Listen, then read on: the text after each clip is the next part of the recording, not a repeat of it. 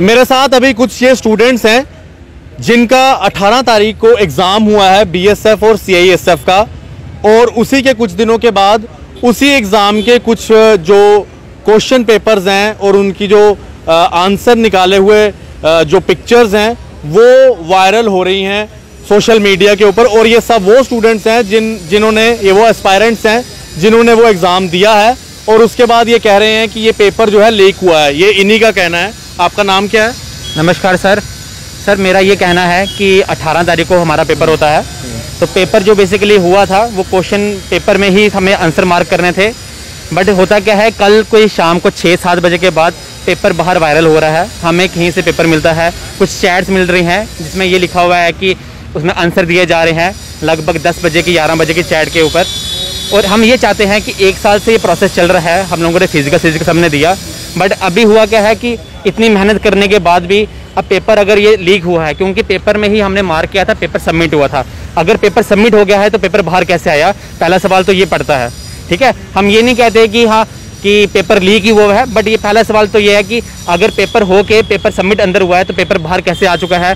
और काफ़ी बच्चे हमारे साथ है, वो भी कह रहे थे कि कुछ टिकनेस नहीं थी वहाँ पर कोई, वहाँ पे कोई पूछने वाला नहीं था, काफ़ी बच्चों को पहले ही पेपर पता जैसे कुछ बच्चे बोल रहे थे कि हमें कुछ क्वेश्चन पहले ही पता थे। तो हम चाहते हैं इसके खिलाफ जाँच हो। इन केस अगर लगता है पेपर लीक हुआ है तो पेपर को कैंसिल किया जाए। सो डेट के जो हम मेहनत करने वाले बच्चे हैं उनको बेनिफिट उनको बेनिफिट मिले और उनकी जो मेहनत है वो कामयाब हो। ये ना हो कि कुछ लोग पैसे दे के पेपर खरीद लेते हैं और वो लग जाए और हम लोग जो एक साल से अपनी दिहाड़ियाँ छोड़ के यहाँ पे लगे हुए हैं। कुछ ऐसे मेरे भाई हैं, ये अपनी दिहाड़ियाँ छोड़ के यहाँ पे आए हुए हैं। पढ़ने के लिए कि जो मेहनत करेंगे, कल को नौकरी लगेगी। अब उनके साथ ये इनजस्टिस है। हम चाहते हैं कि बीएसएफ जो रिक्वायरमेंट एजेंसी है, वो इसके खिलाफ सख्त से कार्रवाई करे और जो भी कल्प्रिट है इसके पीछे, उसको put they should be put behind bar आपका क्या नाम है? तो मेरा नाम विपिन ठाकुर है। विपिन क्या आप चाहते हैं क्या मतलब ये जो सब हुआ है इसके पीछे आपके क्या कहना है? सर मेरा यही कहना है कि जो भी जिन लोगों ने ये चीटिंग की है जो जो मेहनत कर रहे थे उनको तो ये चीज़ मिलने करने को मिली मिली मिली होगी। उन्होंने नियर अबाउट देखो जिसने चीटिंग की है तो उसको पूरे आंसर व्हाट्सएप पे भेजे गए हैं। तो वो तो हंड्रेड एंड टेन परसेंट है तो उसने तो हंड्रेड परसेंट क्या किया होगा?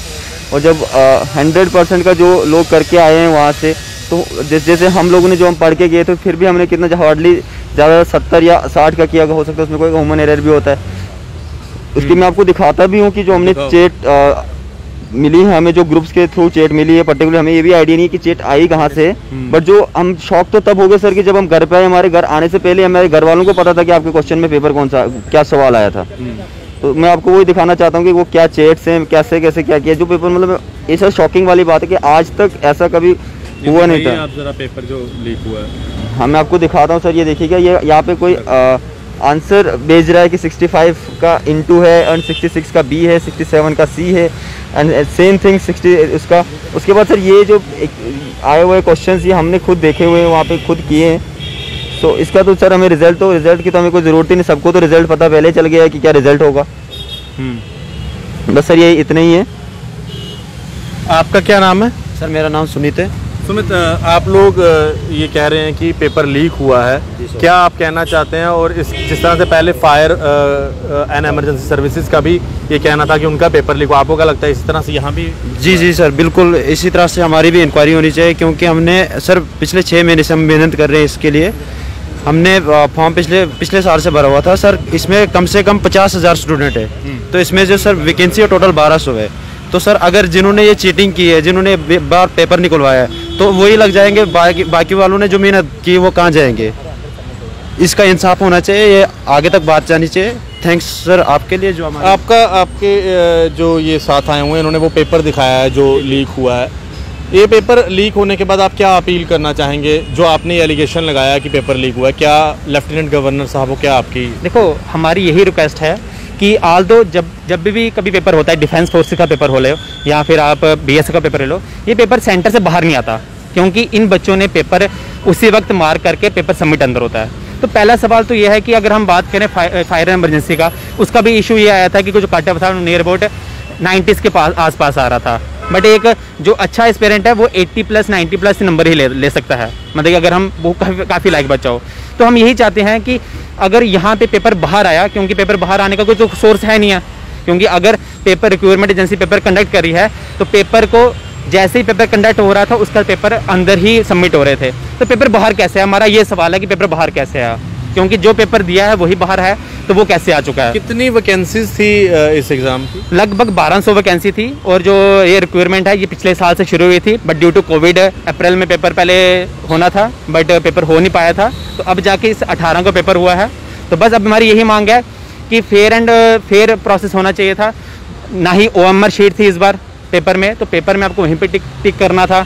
अब पेपर में टिक करने के बाद पेपर भी बाहर आ गया। आप खुद हिसाब लगा लो कि सर, अगर पेपर बाहर आ रहा है तो इसमें तो कुछ ना कुछ मेजर इशू है ही है। बिल्कुल, ये इन सभी बच्चों का अपनी तरफ़ से एलिगेशन है और मैं भी चाहूँगा कि जो रिक्रूटमेंट एजेंसी है, वो इसके ऊपर पूरा ध्यान दे कि आखिरकार पेपर कैसे बाहर आ गया। इनके पास मोबाइल नहीं थे, वहाँ पर कोई पिक्चर क्लिक नहीं कर सकता था। फिर वायरल किस तरह से हुई हैं ये पिक्चर्स फ़िलहाल एक और एलिगेशन यहाँ के यूथ का है कि पेपर लीक हुआ है, जिस तरह से फायर एंड एमरजेंसी सर्विसेज़ का पेपर लीक हुआ था। अब ये बीएसएफ और सीआईएसएफ का जो एग्ज़ाम हुआ है, उसका पेपर लीक होने की भी ये ये जो स्टूडेंट्स हैं, ये एस्पायरेंट्स हैं, ये एलिगेशन लगा रहे हैं। एलजी साहब को देखना चाहिए कि इस तरह की चीज़ें क्यों रिक्रूटमेंट प्रोसेस में हो रही हैं। आशीष कोहली, क्या नाम है? अशोक चलोत्रा जी के साथ जेके मीडिया के लिए धन्यवाद। जय हिंद।